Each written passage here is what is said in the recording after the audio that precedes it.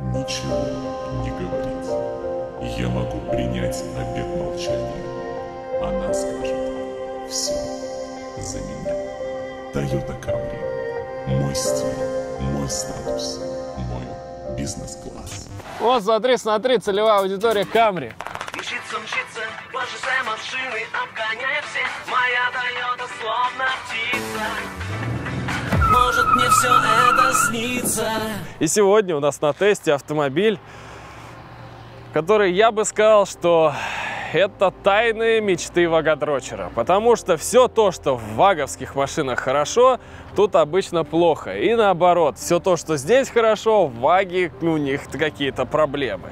И надо начать, конечно, с того, откуда у нас этот автомобиль. Ведь у нас с Тойотой, скажем так, отношения были похожи на какое-то супер затишье или даже на холодную войну. В любом случае, вы очень часто просили Toyota Camry в последнее время, именно Toyota Camry, в комментариях, поэтому я решил в очередной раз им написать. И знаете что? Они ответили. Раз, два, три. Это полочка Toyota Camry. Так 40 весит стреляли. Какой 40? Здесь поворот такой, что надо дубануть. Господи, я чуть не уснул с первой же поездкой. Вот так. Просто дзынь. Но это ничего не изменилось. Опять наврал. Да, это круто. Блин, наконец-то Camry. Что-то вот такое вот большое. М. Скажите мне, пожалуйста, абсолютно новая Toyota Camry. Все ее ждали, потому что, ну, то, что производили до этого, мягко говоря, уже устарело, ее все равно покупали, но даже продажи, когда тебя обгоняет Kia Optima, это, мягко говоря, звоночек. И вот новая Toyota Camry, глобальная, построенная на новой архитектуре. Но почему, скажите мне, Toyota, почему, когда я смотрю на нее, я вижу старую Toyota Camry, причем не предыдущего поколения, а через поколение назад. Вот полное ощущение, что вы взяли и просто вот эту бороду прицепили к старой Камри. Чё за бред? Это наследственность через поколение, какие-то там, где-то там, и это вы еще ее не видели сзади.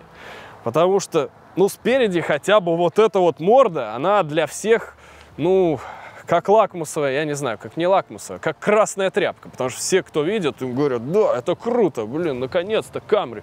Какой-то агрессия появилась, дизайн, все дела. Но когда я вижу вот такую вот задницу, нет, ну понятное дело, она японская. И даже, знаете, я не буду сейчас об этом ничего говорить, там, про, про дизайн.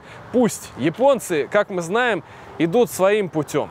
Есть Mazda, которая делает супер красивые, просто нереально красивые тачки. И есть Toyota. Но здесь дело даже в другом. У нас на тесте топовая комплектация Toyota Camry, которая стоит 2 340, 2 350, короче, 2 300 плюс, там плюс цвет вот этот синий, очень крутой, к цвету вообще никаких вопросов, офигенный, всегда разный почему-то он, на солнце особенно крутой. Так вот, круче этой Camry просто быть не может. Но у нее столько косяков, вот столько просто каких-то вопросов, столько, да она просто сделана я не знаю, я не знаю, как так делают японцы. Понимаете, такое ощущение, что они пытались экономить на всем. И все равно у них не получилось, потому что она стоит 2400 практически.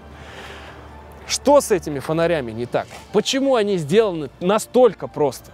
Ну, Ну, блин, ну вот на это смотреть просто невозможно. Ладно, здесь уже как бы все нормально, все клево горит, но вот это вот, вот это вот, вот эта фольга какая-то там, ну, убого смотрится.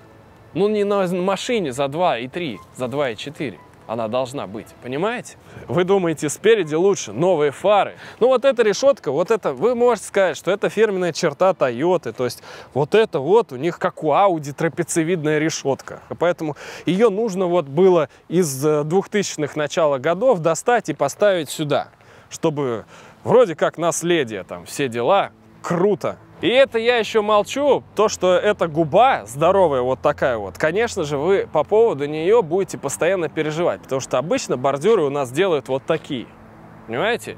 И подъехать нормально и встать, как запарковаться, у вас вряд ли получится с такими автомобилями. Ну, то есть сейчас все, в принципе, седаны практически так делают. Что-то вот такое вот большое. Но Camry это гипертрофировано, по-моему. Так же, как и у Mazda 6. В принципе. Ну ладно, автомобиль начинается с того, как вы открываете дверь, понимаете? И какое впечатление он на вас производит. Сказать, что вот эти ручки, они тянут на 2 и 3, я не могу сказать. Но когда вы услышите звук закрывания двери, это, это просто финиш, друзья. Я бы не хотел, чтобы моя машина закрывала двери вот так.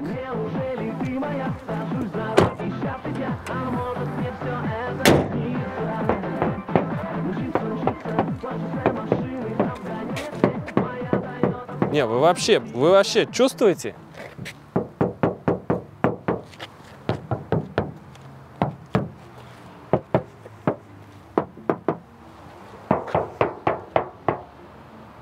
Трандец. Это трандец, друзья. Это тазик, просто, просто таз. Понимаете? Просто посмотрите вот на эту часть. Не на эту, а вот на эту. Как она трясется? Это капец.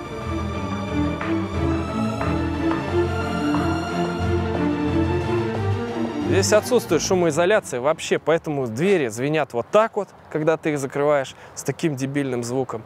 Капот звенит, как на Волге, просто дзынь. Но это ничего не изменилось. Это, в принципе, Камри верна себе называется. Но ты просто чувствуешь, что автомобиль удешевляли как могли.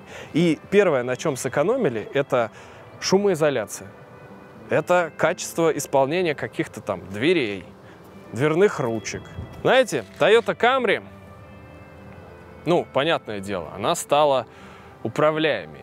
Знаете, что я сделал здесь, когда я сюда приехал? Я решил посмотреть, насколько как бы она что управляется, там все дела. Ну, понимаете, машина клевая. Естественно, у нас в багажнике пролилась омывайка.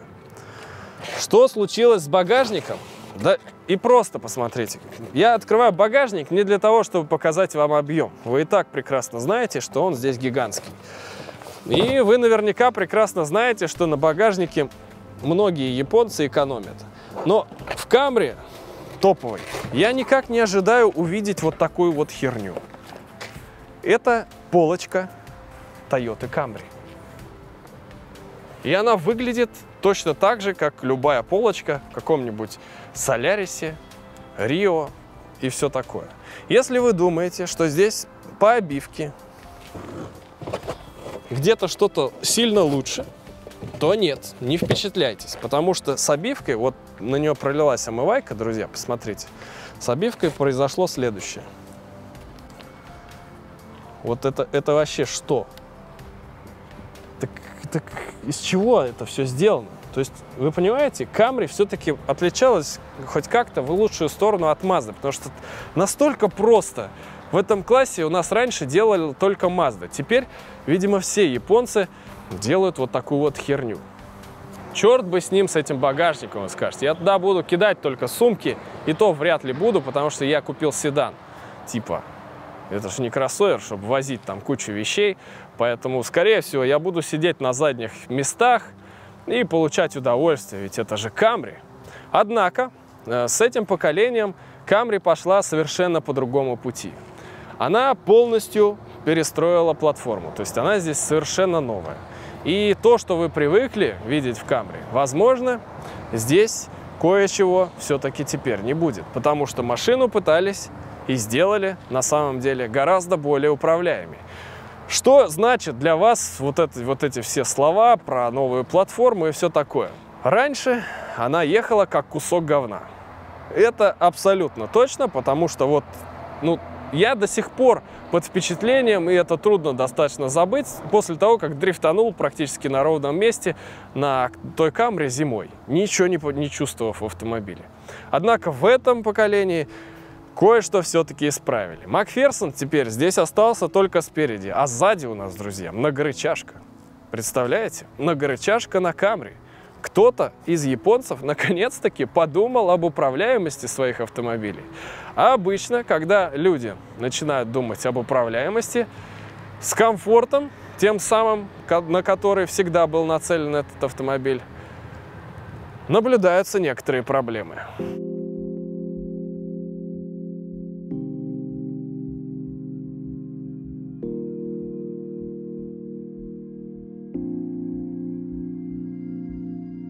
Главный удар новой платформы был нанесен, конечно же, по задним местам. Потому что, ну, во-первых, посмотрите, насколько открывается дверь.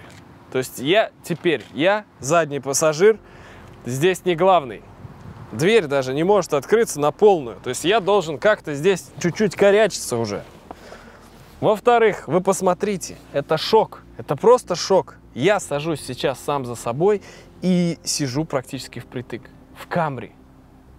То есть это больше не лидер сегмента по простору на задних сиденьях. Японцы решили, что это слишком скучная категория, в которой они бы лидировали. Ведь теперь это не будет VIP-такси. Это же всегда был автомобиль для корпоративных парков, для тех, кто будет, кого они будут возить на задних местах. И теперь здесь не так и много места. Вот в чем фишка. Да, конечно же, здесь есть вот этот супер подлокотник, который сейчас надо протереть. Вот я одновременно с этим регулирую спинку. Хорошо, что только ту. А, ну вот здесь, если бы тер, то и эту. Как вы понимаете, здесь есть электропривод, которым я управляю вот так вот. Прекрасный электропривод. М-м. Но сделали сенсорное, понимаете? Круто же. Ну, Две розеточки USB есть. И посмотрите, появился еще тоннель. Тоннель, при том, что эта Камри не полноприводная. И у нас полноприводности этой Камри ждать не стоит. Однако, где-то на других рынках она может быть полноприводной. У нас еди- единственное, для чего этот тоннель нужен, туда спрятали выхлопную трубу и хоть немножко как бы сделали ровное днище. То есть это тоже, в принципе, пошло на пользу. Но расскажите это вашему третьему пассажиру.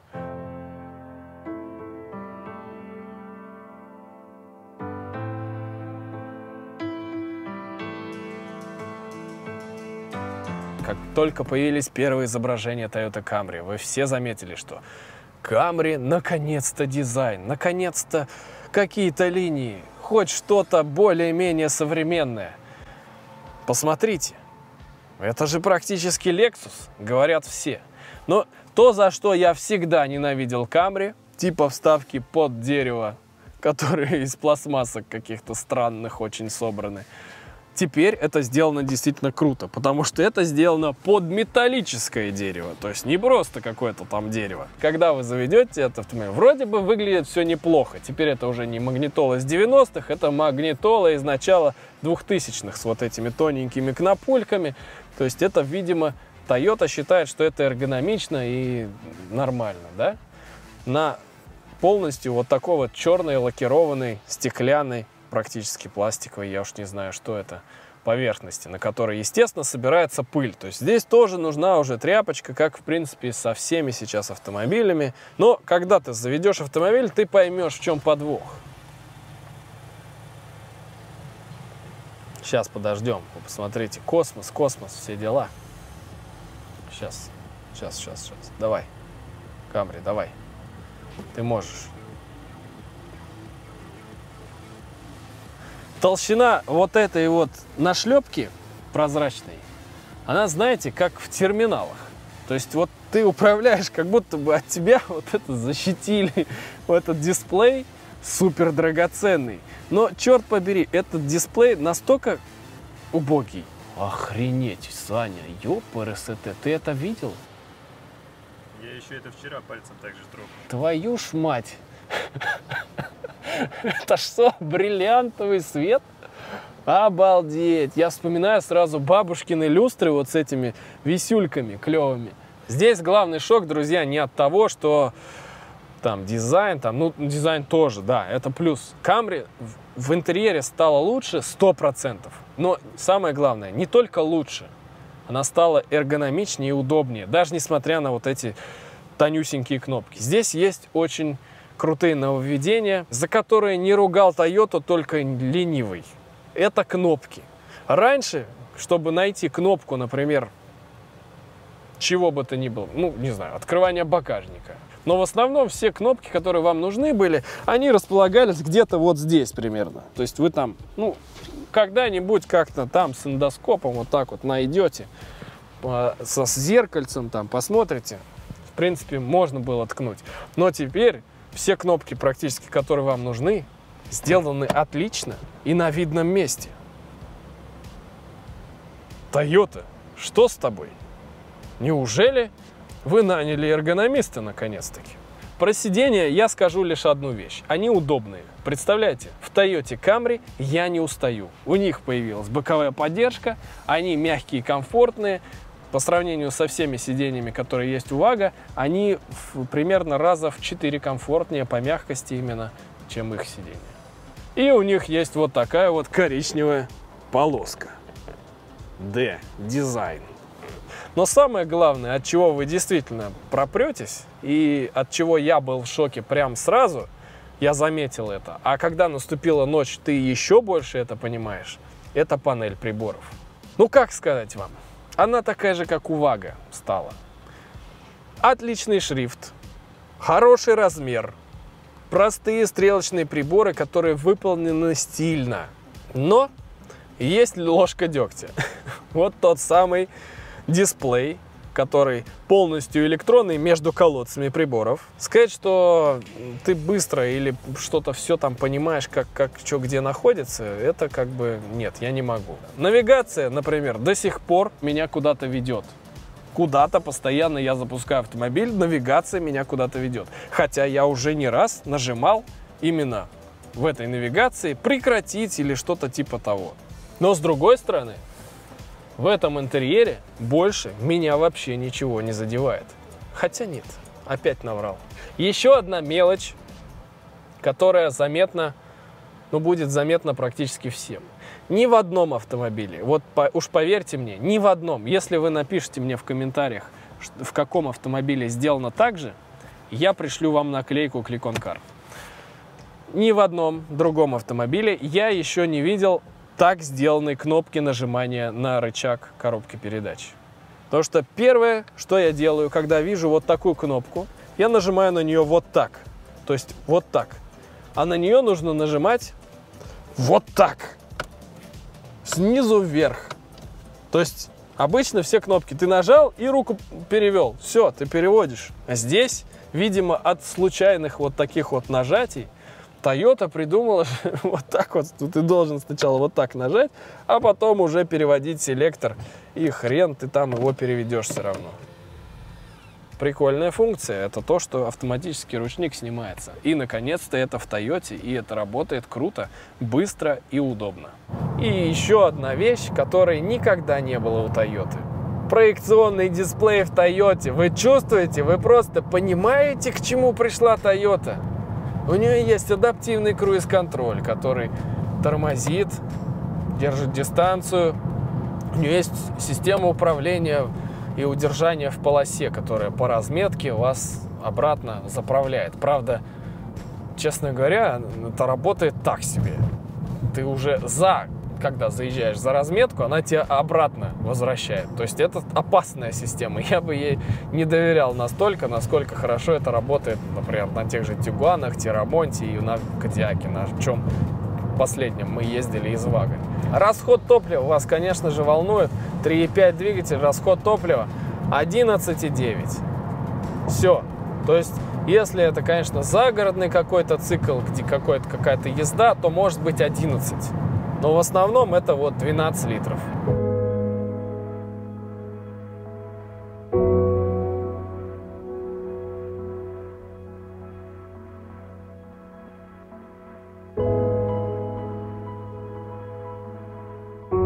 Ну, теперь мы откроем капот не для того, чтобы поржать над звуком его закрывания, друзья. Главный удар по камре, который почему-то, ну, мне был непонятен, понимаете? Под капотом у нашего автомобиля 3,5-литровый V6. Этот двигатель уже нового поколения, он выдает более 300 сил не у нас. У нас, естественно, его опять задушили, вписали во все налоги, и он выдает 250. И вы скажете, отлично, прекрасно, куплю такой. Но, понимаете, есть одна проблема. Эта машина стала медленнее, чем предыдущая, и еще медленнее, чем предпредпредыдущая. То есть первое, что нужно сделать с этим двигателем, его расчиповать. А специально для тех, кто хочет увеличить мощность своего автомобиля без каких-либо последствий для гарантийного обслуживания, я хочу порекомендовать блок увеличения мощности из Германии Gen GT.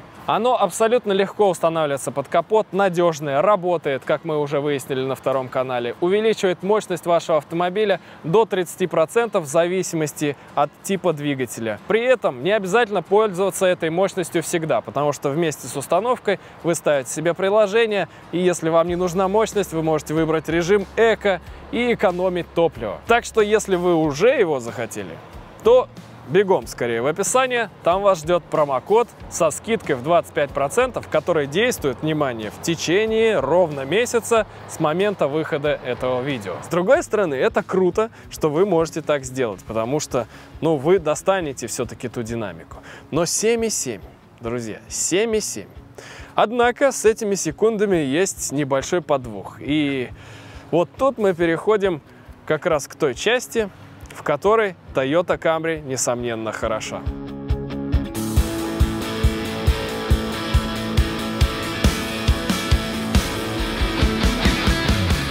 Я даже не буду ездить сегодня на заднем сиденье, друзья. Знаете почему? Потому что я знаю, почему они сделали такую херовую шумоизоляцию. Чтобы лучше слышать этот двигатель.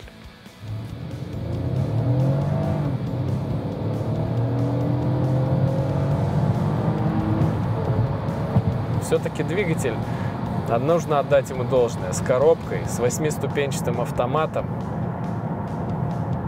Все было бы неплохо, друзья, потому что и педаль газа выдает очень неплохие реакции. То есть вот когда уже на передаче тебе не нужно переключаться, потому что автомата есть одна особенность, он немножко тупит. Единственный, кто фальшивит вот в этом сильно оркестре, в отличном, я считаю, потому что звук двигателя, сам двигатель, блин, ну это то, что надо. Он надежный, он с запасом по моменту, момента до хрена, он везде, у него хороший звук, приятно ездить. Если бы еще чуть более расторопным был автомат. Да, есть лепестки, то есть ты сам можешь управлять Камри, но, к сожалению, это, наверное, в принципе, единственное, что не дает мне уснуть за рулем этой машины, это реально этот двигатель. Но, к сожалению, это Камри, поэтому никто этими лепестками, скорее всего, пользоваться и не собирался никогда в жизни. Они впервые их увидят спустя полгода после покупки. С двигателем, с его энерговооруженностью никаких проблем. Если у вас есть сомнения, то у меня для вас есть целых два заезда. Первый Kia Optima GT. Погнали! Она, ну блин, она по-другому совсем едет. Второй BMW 520 дизель, полный привод. Ох, рывок хороший! Если вы думаете, что эта Camry мне не понравилась, то вы очень сильно ошибаетесь. Даже при всем при том, что в ней есть вот этот миллиард каких-то косяков, которые тебя просто бесит, и ты в шоке от того, как она сделана. Эта тачка все равно крутая. И хорошо, что она у нас именно вот в такой комплектации, потому что боюсь, что если бы она была 2 литра или даже 2,5, что в принципе без разницы для такого автомобиля уж точно, уж поверьте мне, не, не стоит даже переплачивать. Есть одна особенность Toyota Camry. Ты засыпаешь. Ты засыпаешь с любым двигателем, который у тебя есть. Но нам повезло. 3,5 литра все-таки кое на что способен.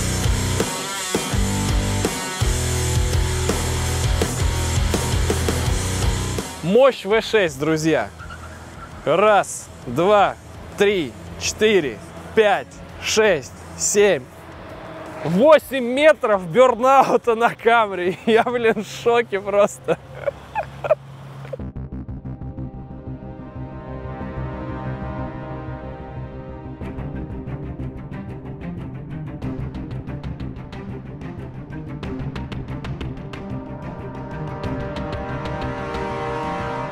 На самом деле я ожидал от этой машины ухудшения ее характеристик.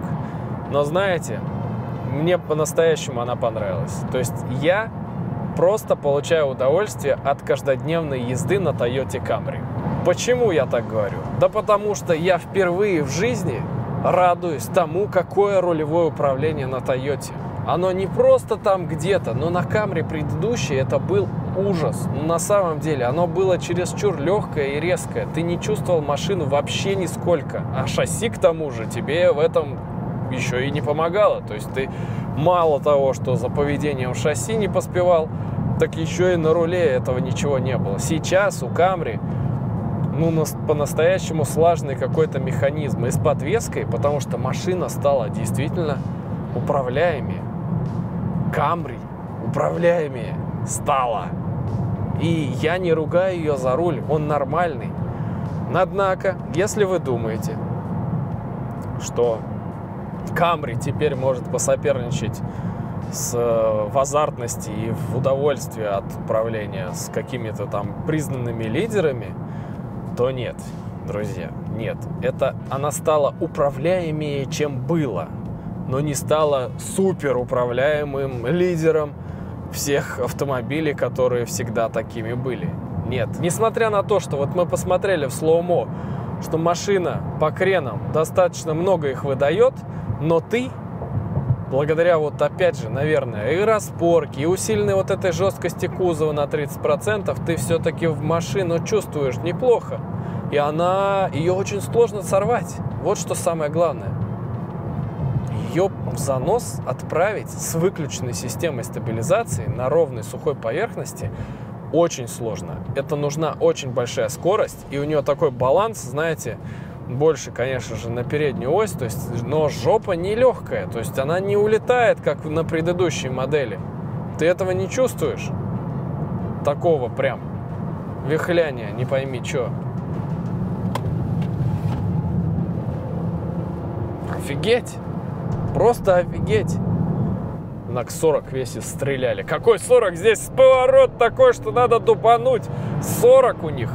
Ну, блин, ну Камри, вот она фишка в том, что она эту скорость свою набирает. О! Наконец-то я прочувствовал то самое, что было раньше. Сейчас жопа под сброс газа немножко в повороте все-таки пошла. Да, надо тестить зимой, друзья, Toyota Camry, посмотреть как. Но, блин, ну система настроена сейчас, конечно, гораздо лучше, чем раньше. И ты ощущаешь, что самое главное, машину гораздо лучше, чем раньше. Так вот, есть одна особенность. Если вы думаете, что все равно Camry у вас супер управляемая тачка, то нет. Все-таки передний привод и все-таки очень много мощности. Поэтому, когда ты на выходе из поворота, если ты слишком рано добавляешь газ, то она просто уплывает наружу. Просто в любой непонятной ситуации под добавление газа она уплывает наружу. Вот это главная особенность. То есть шасси неплохое, но передний привод ну, никуда от него не деться. Тут с ним ничего не сделали. Вот это паразитное лишнее подруливание вот этой передней оси, эффект чрезмерно избыточной мощности на передней оси, он, конечно же, присутствует. С ним здесь не боролись ни капли. Макферсон с ним, в принципе, очень трудом всегда жил и существовал. То есть только какие-то супер вот эти поворотные кулаки, как на Focus RS, на Astrea PC. То есть то, что вот это вот пытаются придумывать, это нужно по- по-любому. Для такой машины это нужно. Здесь у Camry, конечно же, этого ничего нет. Поэтому добавил газ, поехал наружу. Я думаю, каждый из вас все равно переживает, осталось ли Camry комфортным автомобилем. И тут, ну, я могу сказать, что можете все свои переживания отложить до будущих времен. Видимо, еще не до конца там в голову вступила Тойоте управляемость и все такое, потому что машина в первую очередь подкупает теперь уже совокупностью всех своих качеств. Сейчас в Камри, ну как вам сказать, стало больше азарта, ну как азарта, если, конечно, какого азарта, господи, я чуть не уснул в первую же поездку. Нет, не азарта, просто понимание автомобиля стало больше. Но при этом весь этот комфорт, он на месте. И это главное, потому что я получаю удовольствие от езды на Камри благодаря ее комфортной подвеске и адекватности всего остального. Вот, пожалуйста. Блин, да офигенно. Просто офигенно. это вот наш растворившийся асфальт. Без таких прям, конечно, супер крупных колдобин.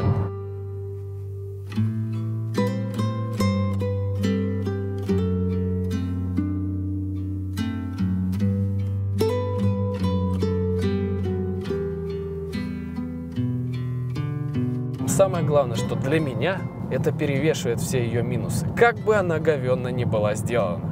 Как бы ни экономил производитель на всем, чем только можно в этой камере. Все равно ее плюсы серьезно перевешивают ее недостатки. Да, вам придется сделать шумку. Да, вам придется расчиповать ее, чтобы после того, как вы сделали шумку и утяжелили автомобиль, она снова поехала те же секунды, а то и может быть и быстрее. Все-таки я бы хотел, наверное, чтобы она выдавала всю свою мощность, а не только ту, которую ей тут ограничили что-то. Но самое главное, что у нее нет проблем во всем остальном. И это и есть мой главный вывод по этой камере. Мне она понравилась. И если вы вододрочер и всю жизнь переживаете, все равно где-то там у вас в подкоркой сидит, что когда-нибудь ваш ВАК все равно придется продать, потому что он ненадежный, и пусть кто-нибудь еще там ездит, то Камри вы можете взять и бэушную, понимаете? Самое это главное. Понимаешь своей головой, своими мозгами, что в ней еще достаточно ресурсов, чтобы вы на ней поездили и не парились. И это главное. Так что Камри это по-прежнему тот самый автомобиль, который не доставляет вам хлопот, умиротворяет, успокаивает. И если это версия 3.5, потому что я не знаю, как я бы ездил на других, сто процентов я бы уснул, и ничего бы в ней тогда такого прям прекрасного я бы не нашел, потому что двигатель, связка вот эта, она прям затмевает все. На этом все. С вами был Михаил Кульдеев, и до встречи в следующем видео.